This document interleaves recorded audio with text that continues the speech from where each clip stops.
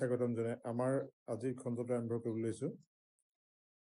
আগৰ খণ্ডত আমি যিহেতু two point one point one অনুশীলনীৰ দুই নম্বৰ প্ৰশ্নলৈকে উত্তৰ আলোচনা কৰিছিলোঁ। আজি আমি তিনি নম্বৰ প্ৰশ্নটো আলোচনা কৰিবলৈ আগবাঢ়িছোঁ। তিনি নম্বৰ প্ৰশ্নটো তোমাৰ উল্লেখ আছে ছশ ষোল্লজন সদস্যৰ এটা সৈন্য বাহিনীৰ গোটে বাৰজনীয়া এটা সেনা দলৰ পিছে পিছে কদম খোজকাঢ়ি যাবলগীয়া হ'ল। দুয়োটা দলেই একে সমান সংখ্যক স্তম্ভত কদম কাঢ়িবলগীয়া হ'ল। তেওঁলোকে খোজ কাঢ়িবলগীয়া স্তম্ভৰ সংখ্যা নিৰ্ণয় কৰিব লাগে। আমি প্ৰশ্নটো দেখি নিশ্চয় তাৰ পৰা ধাৰণা কৰিব পাৰিছোঁ যে যিহেতু একেটা স্তম্ভৰ সংখ্যা হ'ব লাগিব গতিকে তাত আমি উলিয়াব লাগিব ছিক্স হাণ্ড্ৰেড ছিক্সটিন আৰু থাৰ্টি টুৰ গসাগু গতিকে এই যিহেতু আমি গসাগু এক নম্বৰ প্ৰশ্নত উলিয়াই আহিছোঁ গতিকে ইয়াতো আমি গসাগু নিশ্চয় উলিয়াব পাৰিম। ছিক্সটিন ছিক্স হাণ্ড্ৰেড ছিক্সটিন আৰু থাৰ্টি টুৰ গসাগু নিশ্চয় আমি উলিয়াব পাৰিম। গতিকে তাৰ পৰা আমি গসাগু যদি উলিয়াবলৈ যাওঁ আমি যিহেতু গসাগু উলিয়াব লাগিব প্ৰশ্নটোত আমি সেইকাৰণে লিখি লৈছোঁ যে যিটো কদমত খোজ কাঢ়ে সেই তাৰ স্তম্ভৰ উচ্চতা উচ্চতম সংখ্যা উলিয়াবলৈ হ'লে আমি এক গসাগু উলিয়াব লাগিব। আমি গসাগু উলিয়াবলৈ চাওঁ ইয়াত যিহেতু আমি পাইছোঁ যে ডাঙৰ সংখ্যাটো হ'ব ছিক্স হাণ্ড্ৰেড ছিক্সটিন গতিকে six hundred sixteen is greater than thirty two গতিকে আমি ইয়াক থাৰ্টি টুৰে হৰণ কৰি চাম। হৰণ কৰি তাক ইউগ্ৰিডৰ বিভাজন ক্ৰমিকাৰ মতে আমি পাতিম। গতিকে আমি ছিক্স হাণ্ড্ৰেড ছিক্সটিনক যদি থাৰ্টি টুৰে হৰণ কৰি চাওঁ তেতিয়া আমি দেখিম যে প্ৰথমতে এবাৰ যাব থাৰ্টি টু হ'ব। আৰু তেতিয়া বাকী থাকিব নাইন টু আৰু ওপৰৰ পৰা নামি আহিব ছিক্স এইবাৰ হৰণ যাব নবাৰ যাব।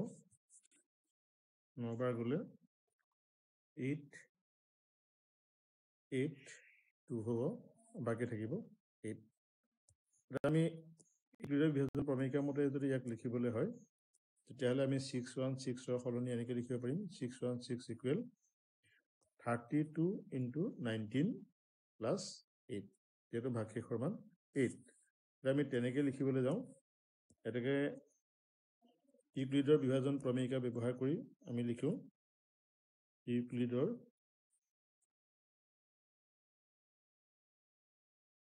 ইউক্লিডৰ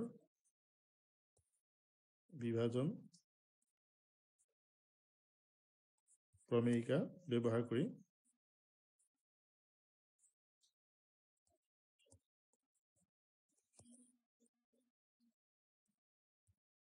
ব্যৱহাৰ কৰি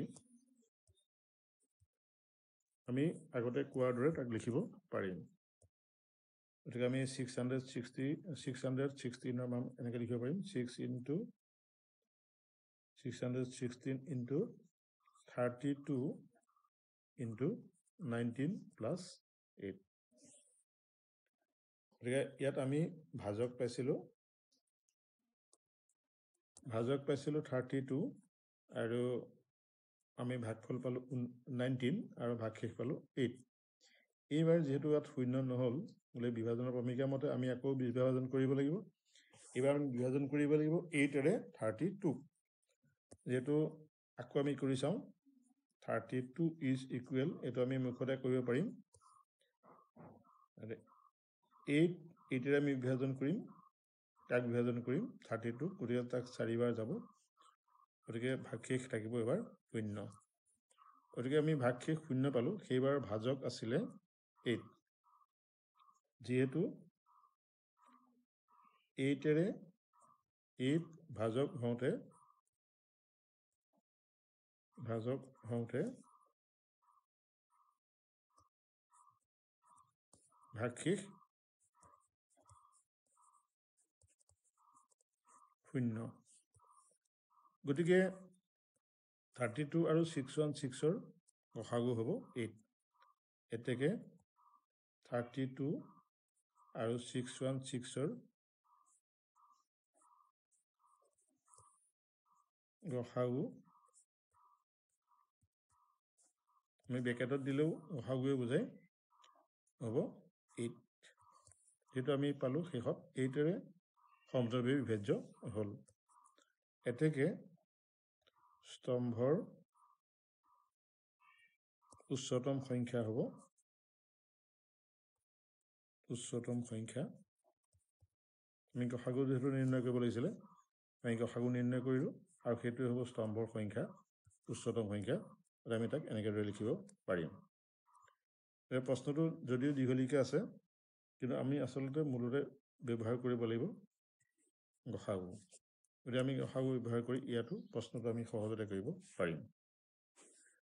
এতিয়া ইয়াৰ পিছৰ প্ৰশ্নটোলৈ আমি গৈছোঁ।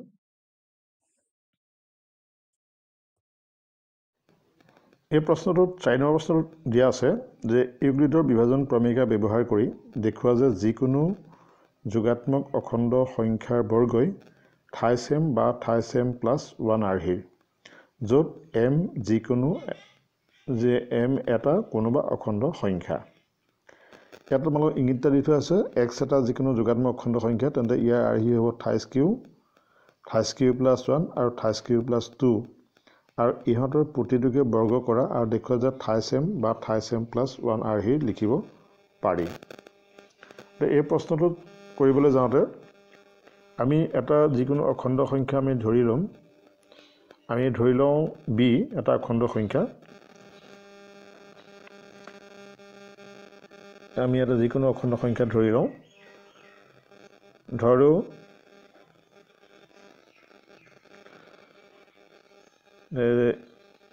বি যিকোনো এটা অখণ্ড সংখ্যা যিকোনো এটা যিকোনো এটা ধনাত্মক অখণ্ড সংখ্যা আমি ধৰি লৈছোঁ। ধনাত্মক অখণ্ড সংখ্যা য'ত যিটো এটা অখণ্ড ধৰ্ম অখণ্ড সংখ্যা ধৰি ল'লে আমি যিহেতু ইয়াত লিখা আছে তোমালোকক যিহেতু থাইচ এম বুলি দিয়া আছে গতিকে ইয়াত বি মানটো যিহেতু থ্ৰী হ'ব লাগিব। এনেকৈ আমি বি লিখিব পাৰিম। অখণ্ড সংখ্যা আমি ধৰিলোঁ আৰু বি ইজুকেল কিমান হ'ব লাগিব? থ্ৰী হ'ব লাগিব। যিটো আমাক থাইচ এম বা থাইচ কিউ আৰ্হি বুলি কৈছে। গতিকে তিনিৰে যেতিয়া কোনো সংখ্যা গ্ৰহণ কৰা হয় তেতিয়া আমি জানো যে তিনিয়ে হৰণ কৰিলে ভাগশেষৰ মান কিমান কিমান হ'ব পাৰে। তেতিয়াহ'লে আমি ইউক্লিডৰ বিভাজনৰ প্ৰমেয়িকা মতে ইয়াক লিখিব পাৰিম। এতেকে ইউক্লিডৰ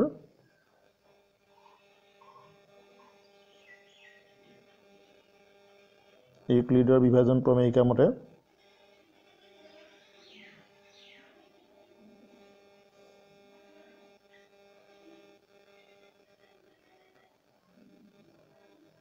ক্ৰমেৰিকাৰ মতে।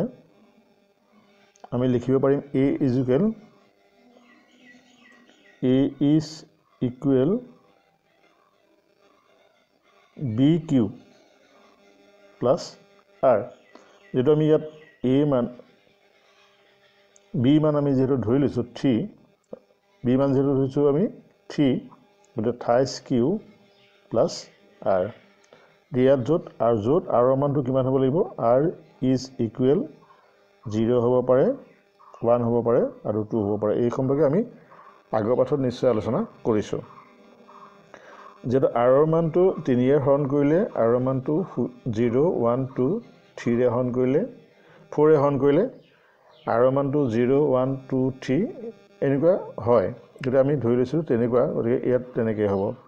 যদি আৰৰ মান জিৰ' হয় তেতিয়াহ'লে এ ইজুকেল হ'ব থাইচ কিউ আৰ মান যদি ওৱান হয় তেতিয়াহ'লে এই মান হ'ব ফাইভ কিউ প্লাছ ওৱান। আৰু আৰ মান যদি টু হয় তেতিয়াহ'লে এই মান হ'ব থাইচ কিউ প্লাছ টু। এতেকে এই আমি মানকেইটা যদি বহাই চাওঁ আৰৰ মানটো তেতিয়া কি হ'ব? আৰৰ মান বহুৱাই। আমি আৰৰ মান বহুৱাই পাম a equal thrice q a is equal thrice q plus one. আৰু a is equal thrice q plus আমি টু পাব পাৰোঁ। ইয়াত তিনিটা ক্ষেত্ৰত আমি যদি পৰীক্ষা কৰি চাওঁ যে এইটো যদি এক নম্বৰ কেছ এইটো দুই নম্বৰ কেছ এইটো তিনি নম্বৰ কেছ তিনিটা কেছ যদি আমি পৰীক্ষা কৰি চাওঁ তিনি ক্ষেত্ৰত যদি পৰীক্ষা কৰি চাওঁ তাৰ মানটো আমি বিচাৰি উলিয়াব পাৰিম। গতিকে আমি কেছ ওৱানত আমি লওঁ যে case one case one a is equal thrice q ই ই এটা কি হ'ব সংখ্যা হ'ব আমি চাব লাগিব যে এ ইজুৱেল থাইজ কিউ কেনেকুৱা সংখ্যা হ'ব। যে আমি দেখিলোঁ যে থ্ৰী কিউ আছেই। এ ইজুৱেল থাইজ কিউ আছেই। গতিকে এইটোতো মিলি আছে। গতিকে আমি কিউ মান যদি কে ওৱান ধৰি লওঁ যে তিনিয়ে যিকোনো সংখ্যাক পূৰণ কৰিলে সি কি হ'ব? সি থ্ৰী হ'ব। গতিকে থ্ৰী বা তিনিয়ে বিভাজ্য সংখ্যা হ'ব। গতিকে আমি ইয়াত গম পালোঁ যে এ ইজুকেল থাইজ কিউ। এতিয়া আমি ইয়াক বৰ্গ কৰি চাওঁ। বৰ্গ কৰি চালে পাম যে A square A square equal thrice Q হ'ল square. Thrice Q whole square মানে হ'ল নাইন কিউ স্কোৱাৰ। আমি nine কিউটোক three into thrice q square হিচাপে লিখিব পাৰিম। নাইন কিউ স্কোৱাৰটোক আমি thrice three into q square হিচাপে লিখিব পাৰিম। আৰু থাইজ কিউ স্কোৱাৰটোক আমি এই সংখ্যাটোক যদি কে ওৱান বুলি কওঁ থ্ৰী ইনটু কে ওৱান হিচাপে আমি লিখিব পাৰিম। আমি ইয়াত কে ওৱান হিচাপে কিয় লিখিলোঁ? যিহেতু থ্ৰীটো থ্ৰীটোৱে পূৰণ আছেই এই কে ওৱানটো হ'ল যিকোনো এটা অখণ্ড সংখ্যা অৰ্থাৎ থাইজ কিউ স্কোৱাৰ যিকোনো এটা অখণ্ড সংখ্যা হ'ব পাৰে। তেতিয়া আমি এই কেছটোত পালোঁ যে thrice q plus thrice q whole স্কোৱাৰটোক আমি থ্ৰী ইনটু কে ওৱান হিচাপে প্ৰকাশ কৰিব পাৰিম। গতিকে ইয়াৰ পিছত আমি সংখ্যাটো দ্বিতীয় কেছটোত চাওঁ। কেছটোত কেছ টুটোত আমি যদি পৰীক্ষা কৰি চাওঁ কেছ টু কেছ টুটোত আছিলে আমি যিহেতু কেছ টুটোত পাইছিলোঁ A equal thrice Q plus one. A equal thrice Q plus one. এতিয়া আমি ইয়াক আগৰ দৰে স্কোৱাৰ কৰি চাওঁ। গতিকে A square equal thrice Q plus one whole square. আমি যিহেতু A plus B whole square সূত্ৰ পাইছোঁ সেইমতে আমি ভাঙি দিওঁ। Nine q square plus two into three q into one মানে ছিক্স কিউ আৰু ওৱান হোল স্কোৱাৰ মানে হ'ব ওৱান। এই দুইটাত আমি কমন ল'লোঁ প্ৰথম দুটাত যিহেতু কমন আছে থ্ৰী। থ্ৰী কমন আছে আমি থ্ৰী কমন ল'লোঁ। তেতিয়া ইয়াত থাকিব ভিতৰত থাকিব thrice q square plus twice q plus plus one থাকিব। এতিয়া আমি এই বস্তুটোক thrice q square plus twice q ইয়াক যদি আমি কেটো বুলি ধৰি লওঁ তেতিয়াহ'লে ইয়াক লিখিব পাৰিম thrice k two plus one হিচাপে প্ৰকাশ কৰিব পাৰিম। গতিকে আমি ইয়াকো দেখিলোঁ যে প্ৰথমটো আমি দেখিলোঁ থাইজ কে ওৱান হিচাপে প্ৰকাশ কৰিব পাৰিলোঁ। দ্বিতীয়টোক পালোঁ আমি thrice K two plus one হিচাপে প্ৰকাশ কৰিব পাৰিলোঁ। তৃতীয় ৰাশিটো আমি যদি চাওঁ কেছ থ্ৰীত কেছ থ্ৰী কেছ থ্ৰীটোত যদি আমি এই মানটো লিখিছিলোঁ যে থাইজ কিউ আৰৰ মানটো বা টু। গতিকে থাইজ কিউ প্লাছ টু এতেকে এ স্কুৱাৰ মান আমি উলিয়াই চাওঁ। A square equal thrice q plus এইটো আছিলে two thrice q plus two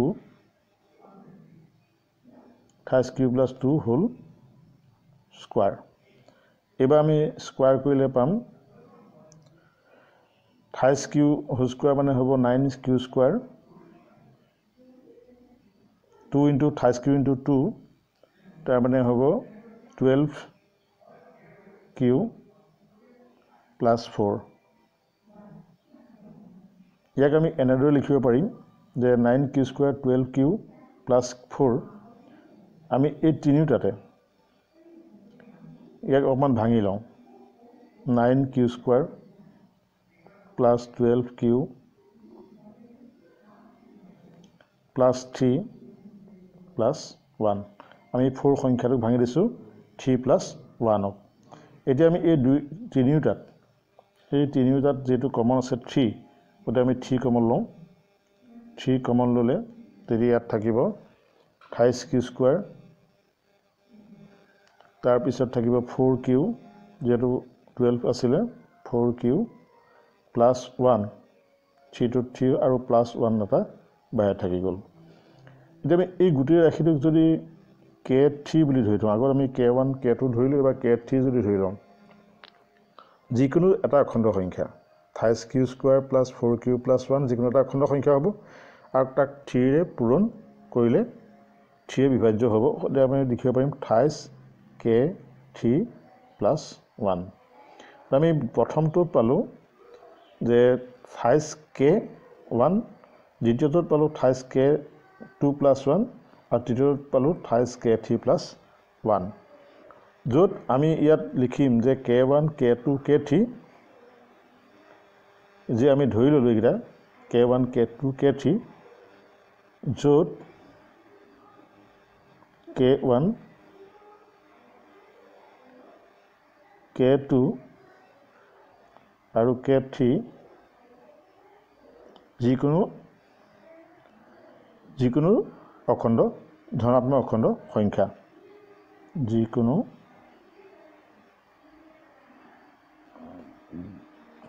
ধনাত্মক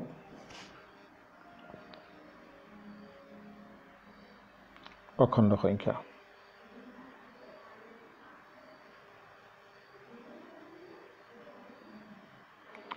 আমি ইয়াৰ পৰা দেখিলোঁ যে গোটেই সংখ্যাবিলাকক এই যিবিলাক সংখ্যা আমি পালোঁ তাৰ পৰা যে সিহঁতক আমি থাইছ কে বা থাইছ কে প্লাছ ওৱান হিচাপে প্ৰকাশ কৰিব পাৰিম।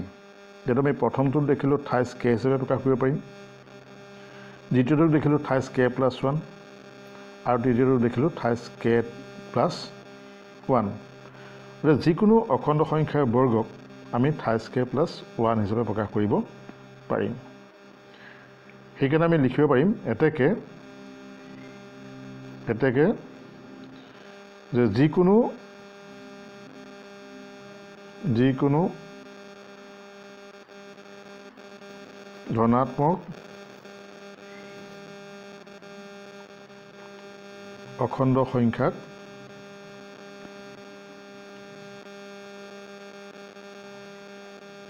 অখণ্ড সংখ্যাক থাইছ এম বা thrice m plus one thrice m plus one আৰ্হিত প্ৰকাশ কৰিব পাৰি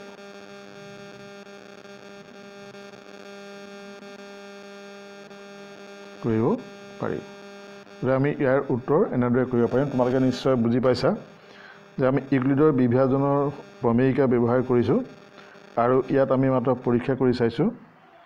পৰীক্ষা কৰি চাইছোঁ আমাক যিহেতু প্ৰমাণ কৰিবলৈ দিছিলে যে যিকোনো দিনত যিকোনো যোগাত্মক অখণ্ড সংখ্যা বৰ্গই যিকোনো যোগাত্মক অখণ্ড সংখ্যা বৰ্গই ঠাই চেম অখণ্ড সংখ্যাৰ বৰ্গ ইয়াত থাকিব লাগিব। অখণ্ড সংখ্যাৰ বৰ্গই সংখ্যাৰ বৰ্গ থাইচেম বা থাইচেম প্লাছ ওৱান আৰ্হিত প্ৰকাশ কৰিব পাৰি। আমি ইয়াত দেখিলোঁ যে পৰীক্ষা কৰি চালোঁ এই যিহেতু ইয়াত তিনিয়ে বিভাজ্য হৈছে গতিকে থাইচ এম অৰ্থাৎ আমি এমৰ কালৈ নিবলৈ যত্ন কৰিছোঁ ইয়াত যে আমি থাই eight nine q square plus twelve q plus three তাক আমি কিয় থ্ৰীৰে থ্ৰীটো কমন লৈছোঁ বা যিহেতু আমাক প্ৰমাণ কৰি লৈছে থাইচ এম। সেইকাৰণে আমি থ্ৰী এটাৰ কমন লৈ তাৰ মাজৰ ৰাশিটো মান যিকোনো উলিয়াবলৈ যত্ন কৰিছোঁ। গতিকে আমি এনেদৰে কৰিব পাৰিম। ইয়াৰ পিছৰ প্ৰশ্নটোলৈ যদি আমি যাওঁ পিছৰ প্ৰশ্নটো দিছে যে ইউক্লিডৰ বিভাজন প্ৰমেয়িকা ব্যৱহাৰ কৰি দেখুওৱা যে যিকোনো যোগাত্মক অখণ্ড সংখ্যাৰ ঘনফলটো nine m nine m plus one বা নাইন এম প্লাছ এইট আৰ্হিৰ হ'ব বুলি আমি দেখুৱাব লাগে। যিটো ইউক্লিডৰ বিভাজন প্ৰমেয়িকা আমি ব্যৱহাৰ কৰিব লাগে। ইয়াত যিহেতু আমাক দেখুৱাই থৈছে যে ইয়াত আগৰ পৰা আমি ঘন কৰি বৰ্গ কৰিলোঁ এইবাৰ আমি ঘনৰ ক্ষেত্ৰত পৰীক্ষা কৰি চাব লাগে। ইয়াতো আমি দেখিলোঁ যে নাইন এম যিহেতু আছে ইয়াত আমি বিৰ মান আগৰ দৰেই থ্ৰী ধৰিব লাগিব। কাৰণ যিহেতু আমি থ্ৰী স্কোৱাৰৰ মানেই নাইন পাম গতিকে আমি তাৰ পৰা মানটো উলিয়াব পাৰিম। গতিকে আগৰ দৰে আমি ধৰি ল'ব লাগিব ধৰোঁ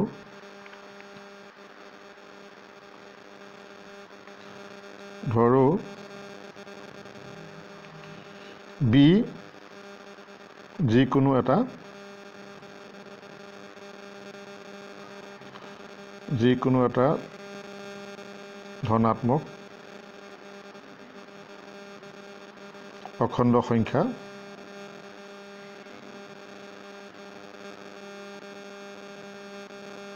আৰু বি ইজ ইকুৱেল থ্ৰী তেতিয়াহ'লে ইউক্লিডৰ বিভাজন প্ৰমেয়িকা মতে কেতেকে ইউক্লিডৰ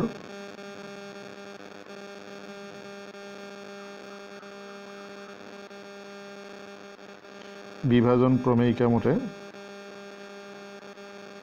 আমি কি লিখিব পাৰিম? যে a is equal b q plus r আমি লিখিব পাৰিম। A is equal b q plus r আমি লিখিব পাৰিম। ইয়াতো আৰু ক্ষেত্ৰত যিহেতু এ মান আমি বি মান থ্ৰী ধৰিলোঁ। গতিকে আমি আৰৰ মান নিশ্চয় ওলাব যে জিৰ' ওৱান আৰু থ্ৰী য'ত আৰ ইজ ইকুৱেল কিমান হ'ব পাৰে? জিৰ' হ'ব পাৰে। ওৱান হ'ব পাৰে আৰু টু হ'ব পাৰে। এই তিনিটাই হ'ব পাৰে। কাৰণ থ্ৰীৰে হৰণ কৰিলে যাতে এ আমি লিখিব পাৰিম গতিকে a equal thrice q plus r ইয়াতহে আমি আৰৰ মানটো লিখিব লাগিব য'ত r is equal zero' one two যিহেতু বি মান আমি বহাই দিয়াৰ পিছতে আমি আৰৰ মান লিখিব পাৰিম। এতিয়া ইয়াতো এই ক্ষেত্ৰতো আমি দেখিছোঁ যে আৰৰ মান যদি এবাৰ জিৰ' পাতোঁ তেতিয়া এই মান হ'ব থাইচ কিউ। আৰৰ মান যদি আমি ওৱান পাতোঁ তেতিয়া এই মান হ'ব থাইচ কিউ প্লাছ ওৱান। আৰৰ মান যদি টু পাতোঁ তেতিয়াহ'লে এই মান হ'ব থাইচ কিউ প্লাছ টু। গতিকে ইয়াত আমি এতেকে আমি এ মান কি কি পাব পাৰোঁ? এতেকে আৰৰ মান বহালে আমি পাম আৰৰ মান বহালে আমি পাম a is equal thrice q plus zero মানে থাইচ q a is equal thrice Q আৰৰ মান ওৱান পাতিলোঁ আৰু এ ইজ ইকুৱেল এইবাৰ আমি আৰৰ মান টু পাতিম থাইচ কিউ প্লাছ টু এবাৰ আমি জিৰ' পাতিলোঁ এবাৰ ওৱান পাতিলোঁ এবাৰ টু পাতিলোঁ। এতিয়া আগৰ দৰে আমি কেছ ওৱান কেছ টু আৰু কেছ থ্ৰী পৰীক্ষা কৰি চাম। গতিকে আমি কেছ ওৱানত যদি চাওঁ থাইচ কিউ পৰীক্ষা কৰি চাম। গতিকে কেছ ওৱান কেছ ওৱানত আমি পৰীক্ষা কৰি চাওঁ a is equal thrice q. যিহেতু ইয়াক ঘন কৰিবলৈ কৈছে আমি এইবিলাক ঘন কৰি চাম। গতিকে আমি এ কিউব উলিয়াই চাম। A cube is equal thrice q whole cube. Thrice cube whole cube মানে হ'ব twenty seven twenty seven q cube. Twenty seven আমি তাক যিহেতু নাইন প্লাছ ওৱান আৰ্হিৰ প্ৰকাশ কৰিবলৈ কৈছে নাইন এম গতিকে আমি নটো ল'লোঁ common nine into thrice q cube. আমি এইটো আৰ্হিত লিখিব পাৰিম। এতিয়া আমি যদি থাইচ কিউ এই এইটোক আমি যদি তাক এম ধৰি লওঁ নাইন এম হিচাপে লিখিব পাৰিম য'ত এমৰ মানটো আমি ধৰি ল'লোঁ থাইচ কিউ কিউব য'ত এম ইজুকেল আমি ধৰি ল'লোঁ থাইচ কিউ কিউব আৰু এমটো মান আমি এনেকুৱাকৈ ধৰিম যাতে চিয়ে ধনাত্মক হয়।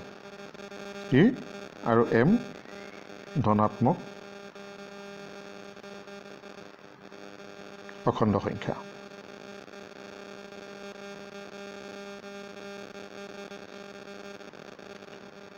এতিয়া আমি ইয়াৰ মানটো ধৰি ল'লোঁ আমি ইয়াৰ মানটো ধৰি ল'লোঁ যে nine three q cube three q কিউবক আমি ধৰি ল'লোঁ এম। এতিয়া ইয়াৰ দ্বিতীয় কেছটোত আমি ইয়াৰ প্ৰথম কেছটোত পালোঁ যে আমি ইয়াক প্ৰকাশ কৰিব পাৰিম। থাইছ এম আৰ হিত নাইন এম আৰ হিত প্ৰকাশ কৰিব পাৰিম। দ্বিতীয় কেছটোত আমি পৰীক্ষা কৰি চাওঁ যে প্ৰকাশ কৰিব পৰা নে ন তেনেকৈ। আমি দ্বিতীয় কেছটো পৰীক্ষা কৰি চাওঁ দুই নম্বৰ কেছটো। কেছ টু কেছ টুটোত আছিলে যে এ মান আমি পাইছিলোঁ থাইছ কিউ প্লাছ ওৱান এইবাৰ আমি কিউব কৰি চালোঁ a cube a cube equal thrice q plus ওৱানক আমি এইবাৰ বৰ ঘন কৰি চাম। ইয়াক ঘন কৰি চালে আমি ঘনটো যদি সূত্ৰ মতে পাতি দিওঁ বা অভেদটো ভাঙি দিওঁ তেতিয়া হ'ব twenty seven q cube plus three into thrice q into one গতিকে nine q three into thrice q whole square অকণমান টুৱেণ্টি ছেভেন কিউ স্কোৱাৰ হ'ব। Twenty seven twenty seven q square হ'ব। টুৱেণ্টি ছেভেন কিউ স্কোৱাৰ আৰু three into thrice q plus into one one হ'ব nine q nine q আৰু one whole cube মানে হ'ব one. এতিয়া আমি ইয়াকো অকণমান সৰল কৰি চাওঁ। এই গোটেইকেইটাতে কি কমন আছে আমি চাই লওঁ। Twenty seven q cube twenty seven q square nine q. তিনিটাতে যিহেতু নাইন আছে আমি নাইনটো কমন ল'লোঁ। ইয়াত থাকিব থাইছ কিউ কিউ ইয়াত থাকিব থাইছ কিউ স্কুৱাৰ আৰু ইয়াত থাকিব কিউ প্লাছ ওৱান এতিয়া আমি এই ৰাশিটোক thrice q square thrice q plus q আমি তাক এম ধৰি লওঁ এইবাৰ। এতিয়া আমি যদি এম ধৰি লওঁ তেতিয়াহ'লে আমি লিখিব পাৰিম এনেকুৱাকৈ যে three nine m nine m plus one হিচাপে লিখিব পাৰিম। নাইন এম প্লাছ ওৱান য'ত আমি এমৰ মান ধৰিলোঁ। এম ইজ ইকুৱেল য'ত এম ইজ ইকুৱেল আমি ধৰি ল'লোঁ thrice q cube plus thrice q square plus q আৰু এমৰ মানটো আমি কি ধৰিছোঁ? ধনাত্মক অখণ্ড সংখ্যা। ধনাত্মক অখণ্ড সংখ্যা।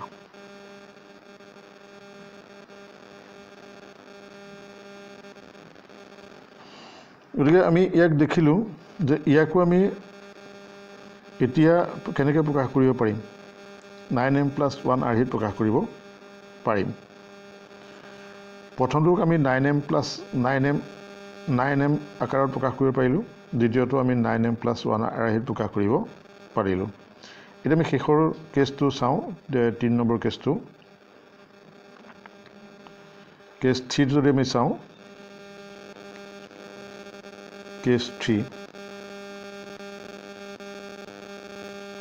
এইবাৰ আমি পৰীক্ষা কৰি চাব লাগিব এ ইজ ইকুৱেল এ মানটো হ'ব লাগিব thrice m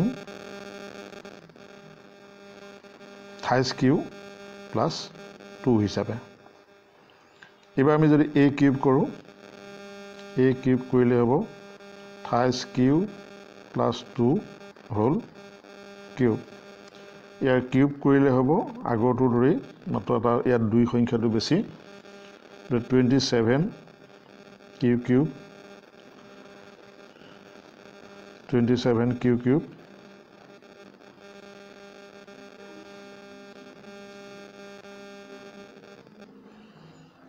তাৰপিছত আমি পাম ফিফটি ফ'ৰ কিউ স্কোৱাৰ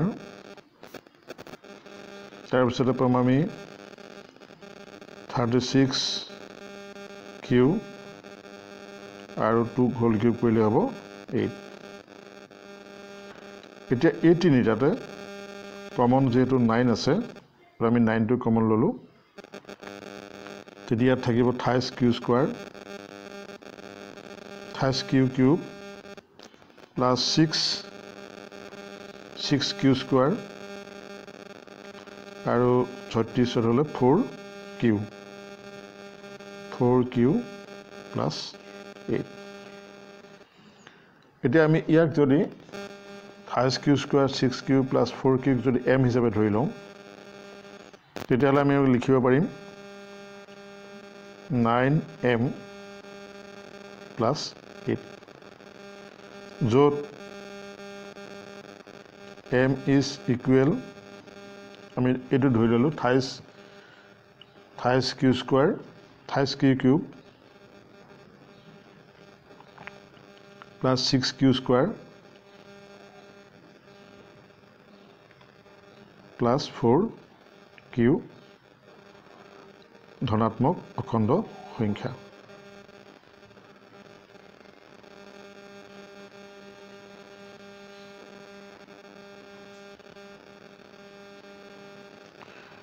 আমি ইয়াক দেখিব পালোঁ যে নাইন এম প্লাছ ওৱান আৰ্হিত প্ৰকাশ কৰিব পাৰিম। যে আমি এই গোটেইকেইটা কথাকেইটাৰ পৰা প্ৰথমটো ক্ষেত্ৰত আমি দেখিলোঁ যে তাক নাইন এম আৰ্হিত দ্বিতীয়টো দেখিলোঁ নাইন এম প্লাছ ওৱান আৰ্হিত আৰু তৃতীয়টোক দেখিলোঁ নাইন এম প্লাছ এইট আৰ্হিত প্ৰকাশ কৰিব পাৰিম। সেইকাৰণে আমি যেতিয়া লিখিলোঁ আমি দেখিলোঁ যে এই তিনিটা আৰ্হিতে প্ৰকাশ কৰিব পাৰিম। গতিকে আমি এতিয়া সেইকাৰণে সেই কথাটোকে লিখিব লাগিব। এতেকে এতেকে যিকোনো অখণ্ড সংখ্যাৰ ঘনক যিকোনো ধনাত্মক অখণ্ড সংখ্যাৰ ঘনক ধনাত্মক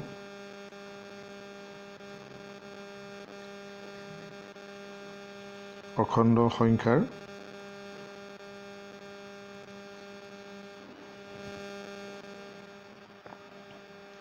ঘনফল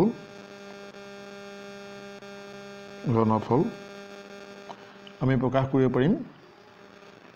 ঘনফলক nine m comma nine m plus one আৰু নাইন এম প্লাছ এইট আৰ্হিত প্ৰকাশ কৰিব পাৰি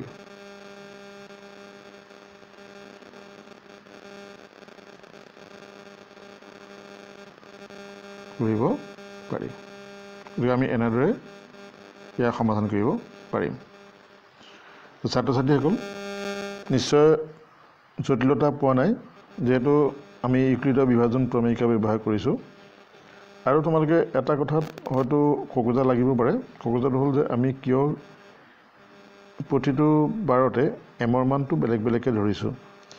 আমাৰ এটাই কথা যে যিহেতু আমাক প্ৰমাণ কৰিবলৈ দিছে নাইন এম আৰ্হিত গতিকে আমি সেই সেইকাৰণেই নাইনৰ পিছত নাইনটো যদি ওলাইছে তাৰ পিছৰখিনিক আমি এম ধৰি লৈছোঁ। অৰ্থাৎ এই আৰ্হিত আমি ইয়াক প্ৰথমতে এম ধৰিলোঁ।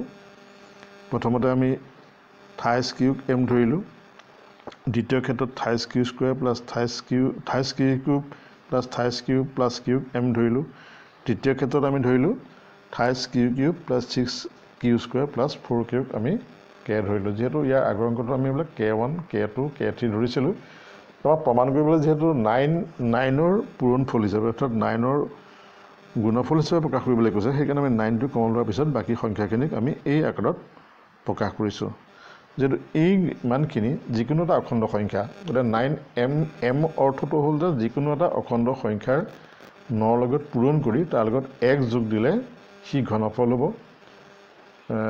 বা নাইনৰ লগত এম অকল যিকোনো এটা অখণ্ড সংখ্যা পূৰণ কৰিলে সি কোনো ৰাশিৰ ঘনফল হ'ব। গতিকে আমি সেইটো সেইটোকহে প্ৰমাণ কৰিছোঁ। গতিকে ইয়াৰ পৰা তোমালোকে নিশ্চয় ইগলিত বিভাজন প্ৰমেয়িকা। আয়ত্ব কৰিব পাৰিছা। গতিকে আজিৰ পাঠত আমি ইগলিত বিভাজন প্ৰমেয়িকাৰ সম্পৰ্কত এই পাঠটো যিহেতু আছিলে এই পাঠটো ইতিমধ্যে শেষ হৈছে। ইয়াৰ পিছৰ পাঠত আমি ইয়াৰ পিছৰ অনুশীলনীলৈ আলোচনা কৰিবলৈ আগবাঢ়িম।